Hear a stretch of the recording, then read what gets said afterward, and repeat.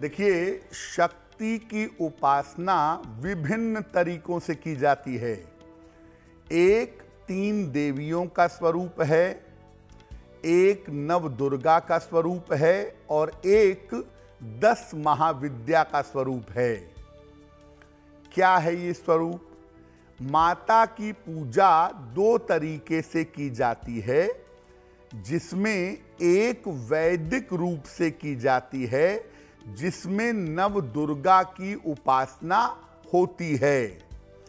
और जब माँ दुर्गा की तंत्र साधना की जाती है, देवी की उपासना तांत्रिक रूप से की जाती है तो उसमें दस महाविद्या की उपासना होती है। दस महाविद्या की उपासना देवी की सर्वोच्च उपासना मानी जाती है। और इसमें देवी के दस स्वरूपों से हर तरह की कामना की जा सकती है।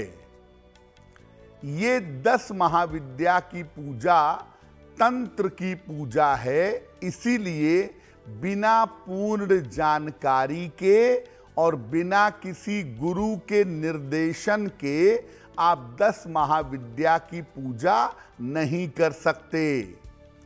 नवरात्रि में इनकी उपासना करने से शीघ्र फल मिलता है।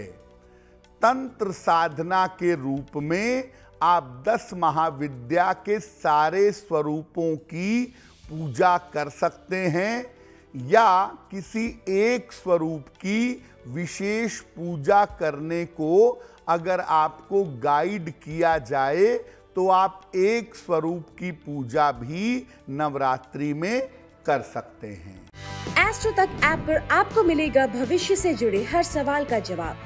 डाउनलोड कीजिए एस्ट्रो तक ऐप और चुटकी में जुड़िए इंडिया के बेस्ट एस्ट्रोलॉजर से।